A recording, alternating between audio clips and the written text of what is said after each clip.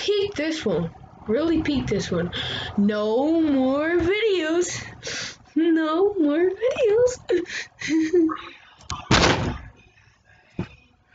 videos.